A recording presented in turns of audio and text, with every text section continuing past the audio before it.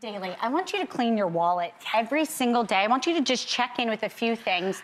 It ain't been one day for Caitlin. it's been a while. Yeah.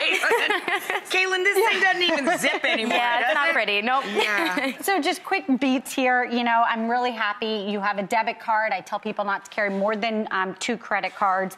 Um, I want everybody to have less than $100 of cash. You have tons of gift cards. These are like cash. I don't want them in your wallet because if you lose it, you lose them. Right. And then Rachael, look at all these receipts. You really just want to do a quick scan so you know what you're buying. And I want you to get rid of them because your signature's on there in case someone steals it. And then quick tip. If you keep a baby photo in your wallet, Rachael, you are more likely, significantly more likely to have your wallet returned if you lose it. So we're keeping that baby, even if it's not your baby. You can have That's one of my baby photos. That's brilliant. That's a great idea. This is why every time I get my wallet ripped off or lost, nobody sends it back. I got a picture of a pit bull. I'm taking your.